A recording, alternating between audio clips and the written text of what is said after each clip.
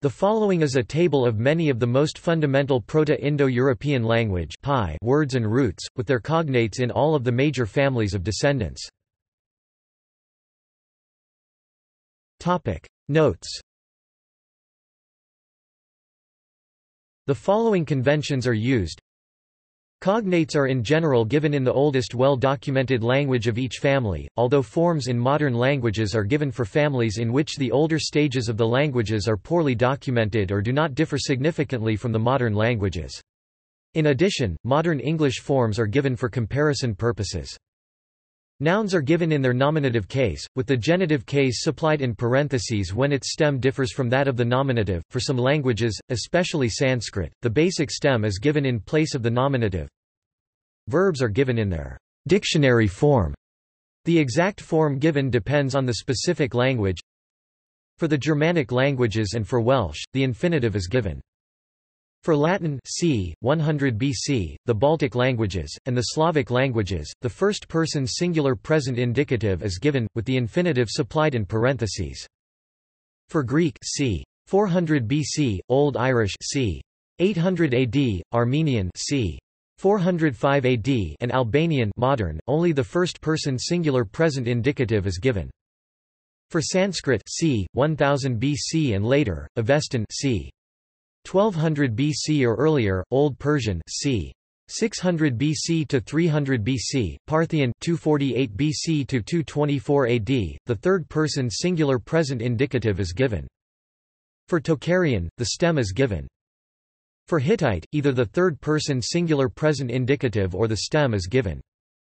In place of Latin, an Oscan c. 100 BC or Umbrian c.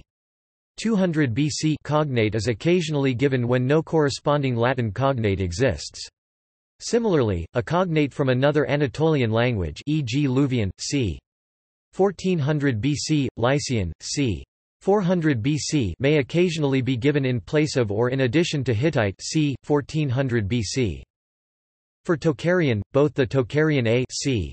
800 AD and Tocharian B c. 800 AD cognates are given whenever possible. For the Celtic languages, both Old Irish c. 800 AD and Welsh cognates are given when possible. For Welsh, normally the modern form is given, but occasionally the form from Old Welsh c. 800 AD is supplied when it is known and displays important features lost in the modern form. A Middle Irish c. 1000 AD cognate is given when the Old Irish form is unknown, and Gaulish c. OAD, Cornish c. 1200 to 1700 AD, and or Breton modern cognates may occasionally be given in place of or in addition to Welsh.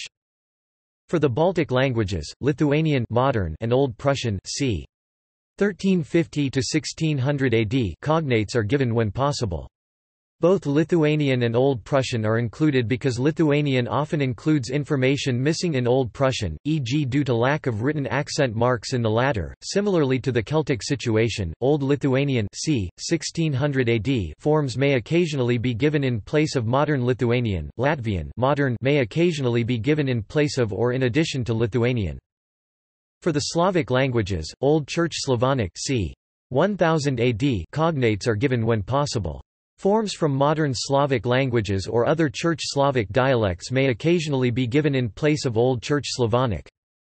For English, a modern English cognate is given when it exists, along with the corresponding Old English c. 1000 AD form, otherwise, only an Old English form is given.